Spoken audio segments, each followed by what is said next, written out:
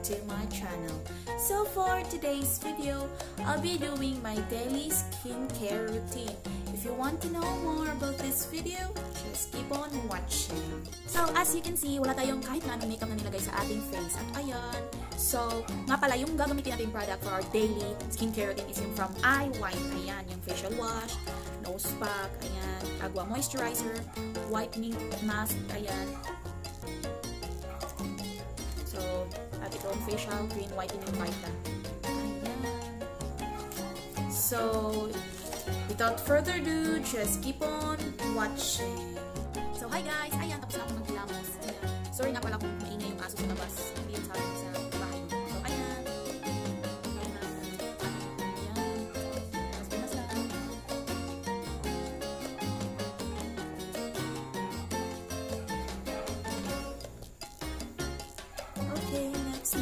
Gagamitin ko is itong whitening peel off mask. Ayan. Ayan siya from Eye White. Then,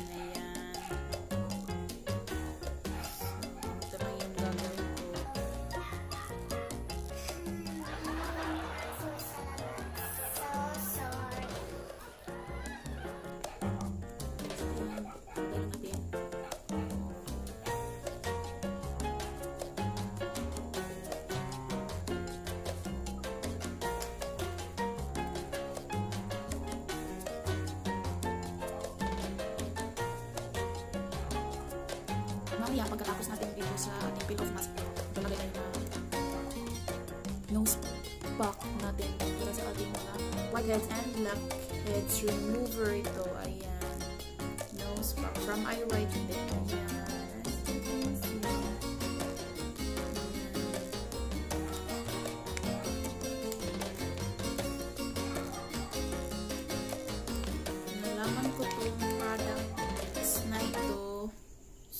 Lang din sa mga ibang vlogger. So ayun, maganda naman yung feedback nila. So, trinay ko. So ito, maganda naman siya sa skin at hiyang naman yung balat ko. So ayan. Sa noo, lagyan natin yung noo natin. Ingat-ingat lang tayo sa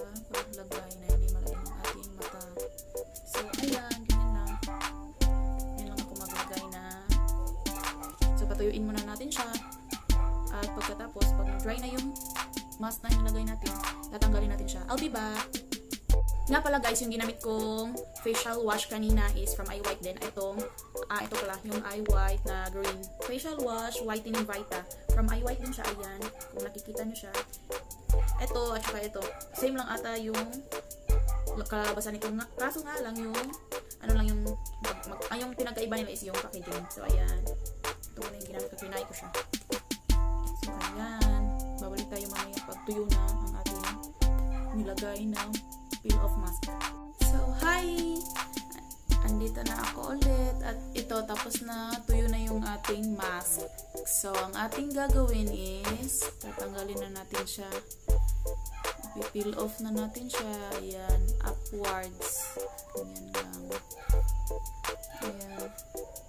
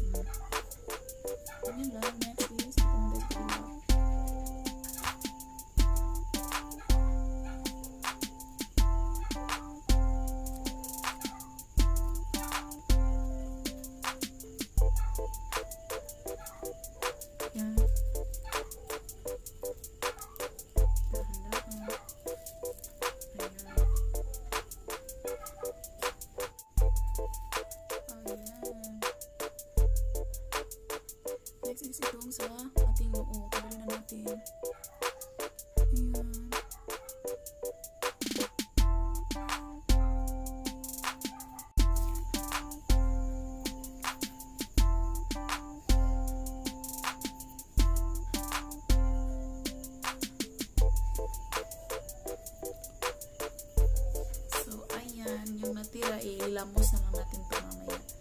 So, next natin gagamitin is itong nose pack from Eye White din. Ayan.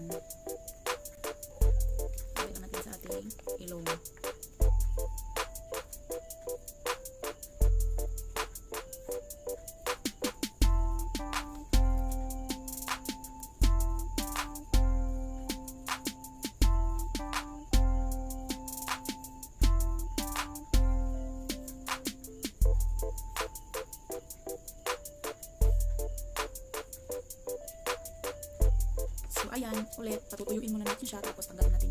I'll be back. Hi, I'm back. Ayan, tuyo na ang ating nose peel of mask. Ayan.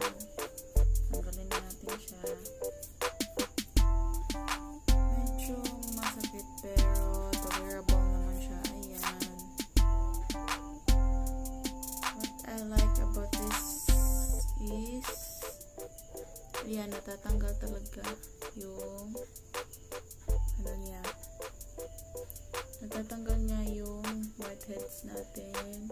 Ayan. Kung nakikita niyo siya sa camera ayan.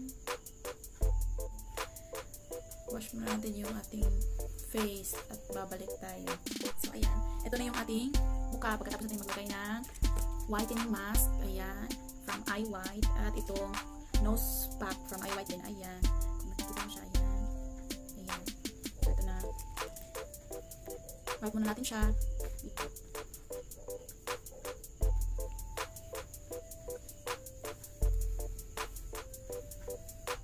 Next is cleanser. Ah, itong toner muna tayo. Ayan. Using this Maxipil Zero. So, ayan. Lagyan natin ng since malinis na yung ating mukha. Mas maganda kasi yung night toner talaga.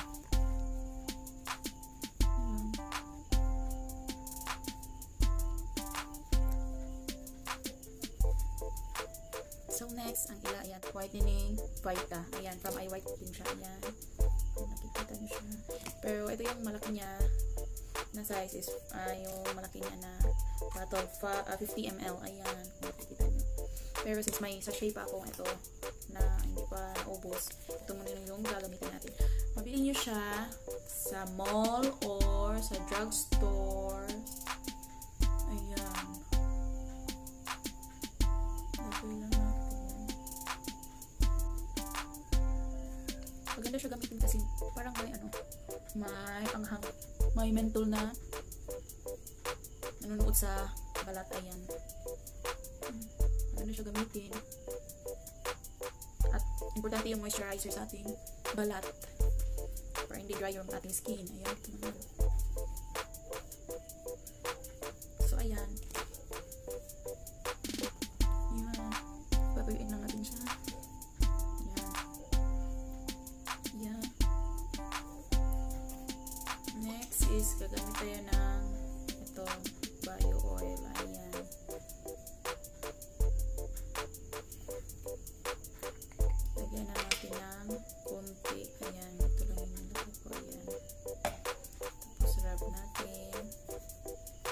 Argan. Lagay lang natin. Lagay tayo ulit ng konti. Ayan. Ayan. Tapos, rub ulit. Natin ito siya sa ating noo. Ayan. Ito naman sa ating chin. Ayan. Ayan. So, ayan. Tapos tayo sa ating bio oil. Ayan. Next thing is ito yung lalagay natin. From Eye White din siya. Itong Facial Cream Whitening Vita. Ayan. May SPF 15 na siya. Ayan. So, you can see whitening, makeup base, protection, SPF 50. 15. So, ayan. Pag hindi kayo masyadong nagbilad sa araw, pwede nyo siya itong gamitin. Pero, usually, pag may lakad kami or pag nabibilad yung skin ko sa araw, yung ginagamit ko is yung Bello na tinted sunscreen. So, ayan. Ito muna yung gagamitin natin kasi nandito tayo sa bahay. Ayan.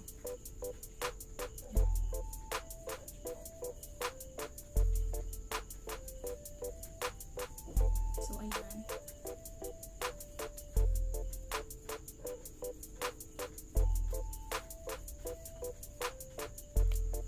Wala siyang amoy. Pero maganda siya gamitin. Ayan. Lagay na lang natin yung liit natin.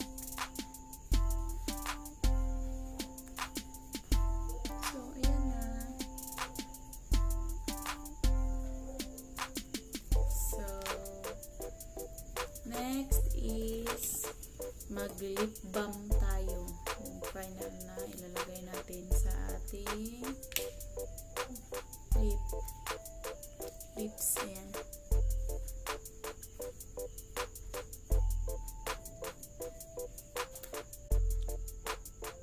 mag-dry yung ating lips. Ayan.